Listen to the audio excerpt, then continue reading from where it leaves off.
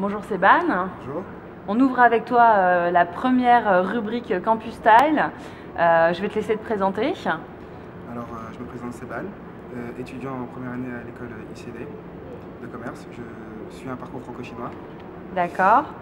parce que j'ai l'ambition de partir en Chine et ce parcours m'aidera à partir en Chine. Voilà. Dis-nous ce que tu portes aujourd'hui. Actuellement, je porte un manteau qui a les mêmes traits que dans Star Wars. Tout le monde euh, me- par exemple. Je ressemble à un personnage de Star Wars, tout le monde me le dit, tout le monde le fait dans, dans le campus. Euh, un t-shirt en cuir. Je, porte que du rouge et du noir. C'est mes couleurs favorites et je porte toujours que ça. On peut voir toujours qu'en noir. Un t-shirt en cuir et euh, une sorte de, de jogger hein, pour les jogging et des chaussures que j'ai personnalisées moi-même euh, à Nike.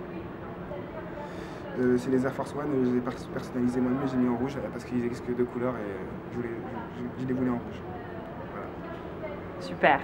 Et du coup, si tu avais un mot pour euh, nous décrire ton style, ce serait quoi? Euh, je m'inspire beaucoup des, euh, des- de la musique, des courants de musique pour, pour, pour mon style.